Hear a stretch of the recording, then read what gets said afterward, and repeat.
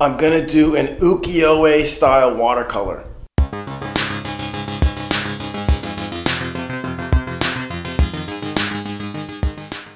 I'm fascinated by the aesthetic appeal of ukiyo-e prints, and uh, I wanted to test out uh, to, to see if I could do it with watercolor.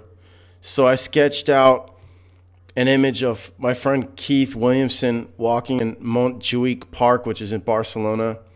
Uh, we had gone to an exhibition at the Miró Museum, and it showed it was I forgot the guy's name, but it was it was an artist, an ukiyo-e artist from the mid 20th century or early 20th century named Ito something, Shinshen or something.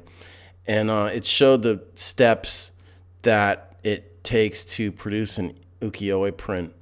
And um, I just think that it's hard to deny the um, aesthetic appeal of ukiyo-e prints.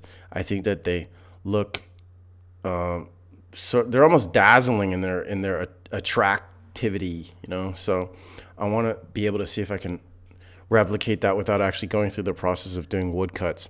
And I also want to see if I can discover or understand what the um, the the the core sort of magnetism, visual magnetism that ukiyo-e prints possess. So what I think it is is it's the thick outlines coupled with the um, broad fields of gradi- gradated, so gradient uh, colors. And you can also sort of exaggerate the colors a little bit or stylize them or just make color choose colors that you like as opposed to what colors what colors were actually uh, uh, present in the scene itself naturally. So um, by the time I finished this, I think I was quite actually quite satisfied with the result.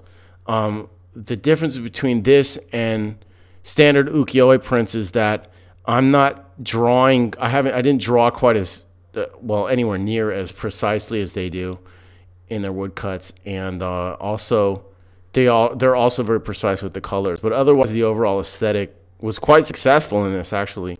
So that's encouraging because I feel like I want to um, continue experimenting with ukiyo-e.